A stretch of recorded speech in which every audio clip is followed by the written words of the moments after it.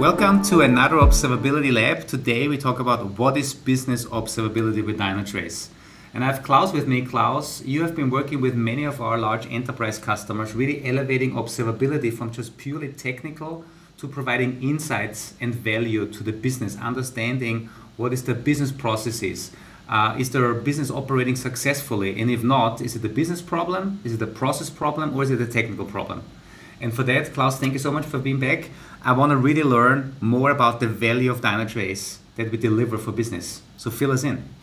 Thanks for having me, Andy. And I really appreciate uh, taking the time here to talk about business observability. Many people that are thinking about Dynatrace think about Dynatrace in a traditional way mm-hmm. application observability, infrastructure observability, uh, user, real user monitoring, all of that being part of Dynatrace.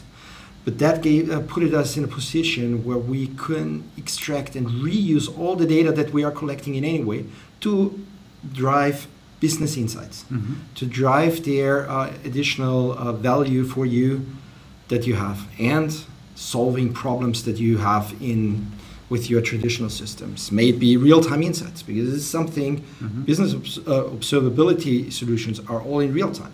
No IT operations person would wait for availability issues to show yeah, up. True. Yeah. However, when you look on the business side of the house, real-time insights in what is happening is really, really cumbersome. And usually you're getting your daily, weekly, monthly report, and then you're trying to find out, just like, like you said, is it an IT issue that was impacting things, or was it my marketing campaign failing?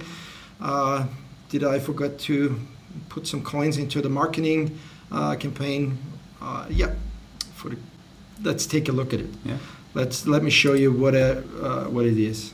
When we talk about business observability at Dynatrace, there are three core pillars that we are covering. It's first thing, real-time business decision making, mm-hmm. giving you all this data always in context with IT. So no longer when you are sitting in the same room trying to figure out who has a problem, whose whose data set is the right one, having everything in context, really cool. Second area, business processes. Mm-hmm. Really, really hard to follow. Uh, given that uh, IT is changing constantly with the dynamics of uh, cloud, really hard to do, use traditional business process monitoring solutions to get uh, rolling here. And last but not least, yep, IT also is a cost factor. We're giving you insights, know, like how much uh, it costs, or sustainability, carbon footprint reduction is there a big topic because cost and carbon go hand in hand. Mm-hmm. We're not only giving you the insights, but the core is really we want to help you automate, mm-hmm. automate tasks and uh, remediate situations that you, that are uh, occurring to your business.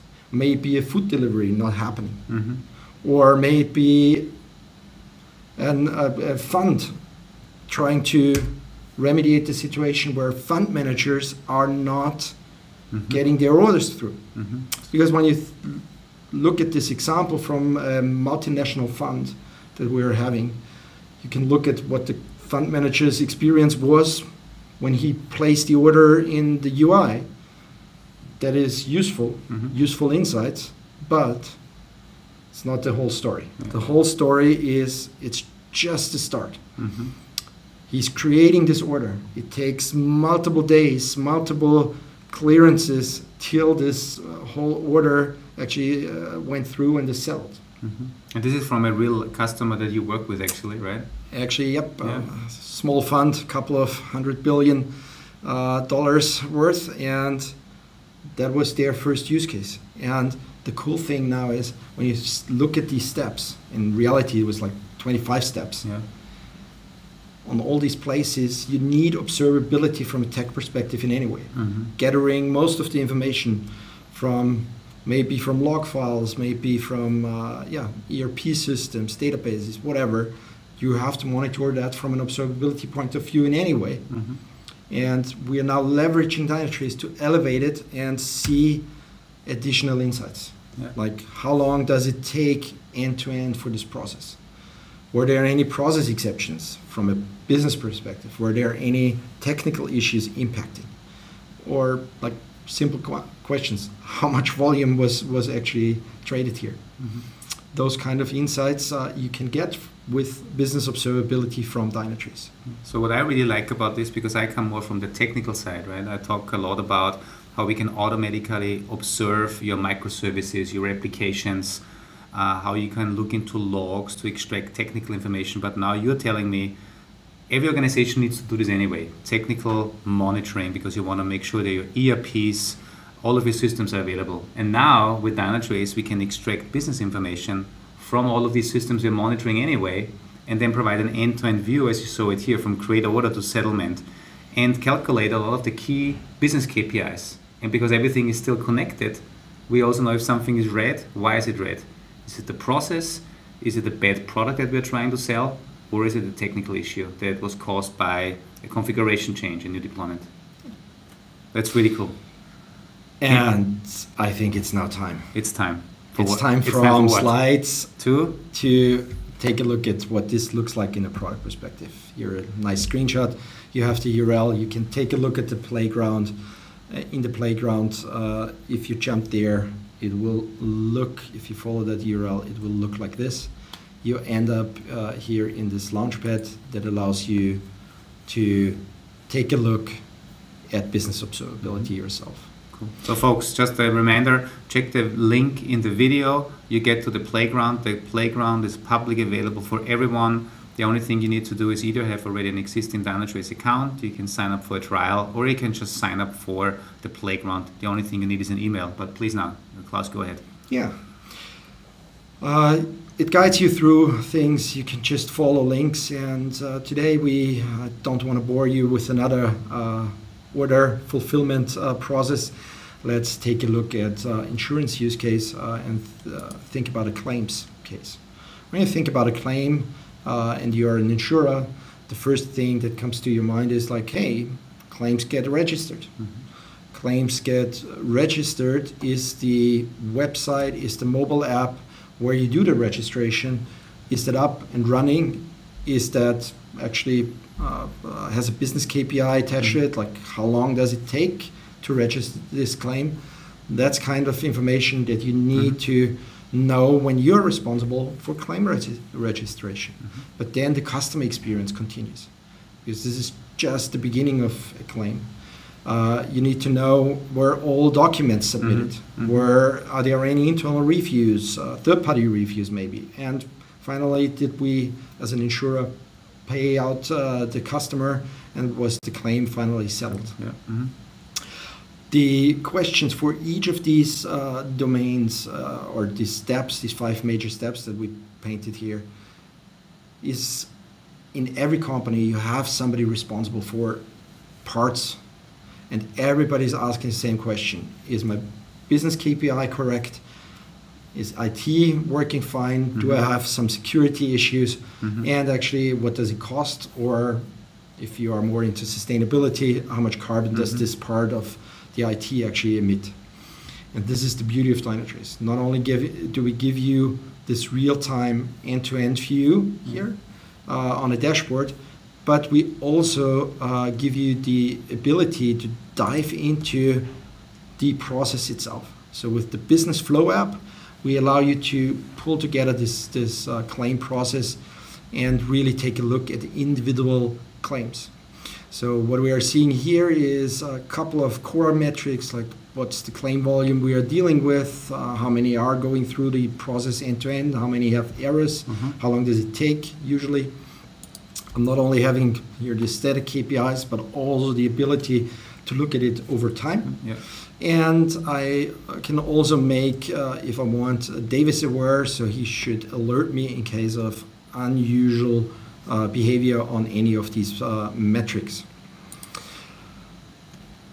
But what is key is also you can basically take a look at this process and uh, even have loops or uh, hmm. forks where like yep you requested further evidence or like internal review you may depending on the vol- uh, the, the um, claims uh, amount mm-hmm. have multi-tier reviews the thing here is we also see that on the document submission, it seems that we're in trouble. And the ability to just uh, point and click here and get here basically all the claims that are impacted uh, on that step and having here the ability to filter down and say like hey just give me those uh, claims that are actually having a business exception Mhm. is key So we're And- defining a business exception now, from a technical exception to a business exception. That's a cool Exactly. term, yeah. yeah exactly because uh, think about trying to pay somewhere Yeah. it's an exception if you cannot pay with your credit card Yeah. and it's uh, your credit card is at limit Yeah. technically everything will go fine you will not see any mm, disturbance in the tech metrics Yeah. and uh, yeah the cool thing is we can dive into these submissions into these uh, Hmm. and we see that this one started with like somebody uh, called in to start the uh, process and then we had basically this issue here uh, on the document submission we also have additional information what was it the claim type it was cargo Mhm. uh, relevant. And I've added here before the demo this DT entity host. Mhm. What is that? This is actually the link from the business side to the tech side. Mhm. So this is the server. It can be a Kubernetes node. It can Yeah. be whatever your your uh, tech is running on, but you can very simple jump from this very business view to like, hey, I want to know what that means Mhm. and what is this IT infrastructure piece that is sitting behind here. It's just a click away. Mhm. That's cool, yeah. And this finally really connects, and this, this is, I think, really the power now. What you're, what you're talking about.